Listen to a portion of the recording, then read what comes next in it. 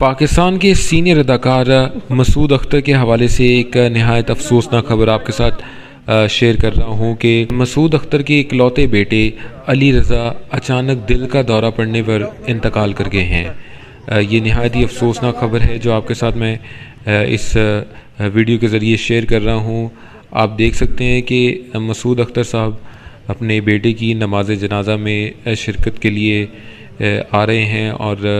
लोगों का सहारा लिए मसूद अख्तर साहब इस वक्त नमाज़ जनाजा में शिरकत के लिए पहुँच रहे हैं। ये मसूद अख्तर साहब के पोते जो हैं, उनके साथ मौजूद हैं और ना सिर्फ़ मदा बल्कि जो मसूद अख्तर के साथी फ़नकार हैं, वो भी इस नमाज़ जनाजा में, इस मुश्किल की घड़ी में उनके साथ गम बांटने के लिए मौजूद हैं। अशरफ खान साहब इसके साथ साथ राशिद महमूद साहब समेत दीगर फ़नकार मसूद अख्तर साहब के इस गम में शिरकत के लिए पहुँचे हैं और लोगों की बड़ी तादाद मसूद अख्तर साहब के बेटे की नमाज़ जनाजा में शिरकत के लिए मौजूद है। लोग आखिरी दीदार करने के लिए मौजूद हैं और मसूद अख्तर साहब को जो है इस वक्त उनसे ताज़ियत किया जा रहा है।